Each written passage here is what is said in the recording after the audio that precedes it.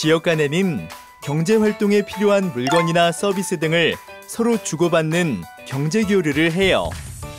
이렇게 지역 간 경제 교류가 생기는 까닭은 무엇일까요?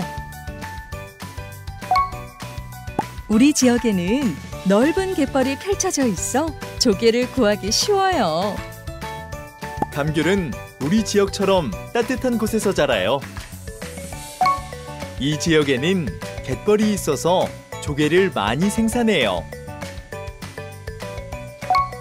이 지역은 기온이 높아서 감귤을 많이 생산해요. 갯벌이 있는 지역과 기온이 높은 지역은 자연 환경이 달라서 경제 교류를 해요.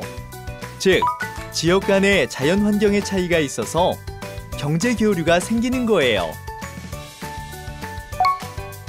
뛰어난 기술을 가진 장인들이 모여 품질이 우수한 신발을 만들어요. 새로운 기술로 제품을 만드는 첨단 산업단지가 있어요. 이 지역에는 뛰어난 기술을 가진 장인들이 모여 있어 품질이 우수한 신발을 만들어요. 이 지역에는 새로운 기술이 적용되는 첨단 산업단지가 있어요. 두 지역은 서로 다른 뛰어난 기술을 가지고 있어서 경제 교류를 해요. 이처럼 지역 간의 기술의 차이가 있어서 경제 교류가 생기기도 해요. 사람들은 공항이 있는 우리 지역으로 비행기를 타러 와요. 상업 시설이 발달해서 다른 지역에서도 상품을 사러 와요. 이 지역에는 다른 지역에 없는 교통 시설이 있어요. 이 지역에는 다른 지역보다 상업 시설이 발달했어요.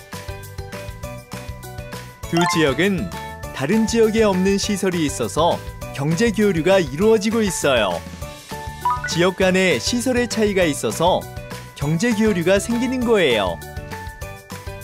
이렇게 지역마다 자연 환경, 기술, 시설 등이 다르기 때문에 지역 간의 경제 교류가 발생해요. 경제 교류를 통해 지역들은 서로 의존하게 된답니다.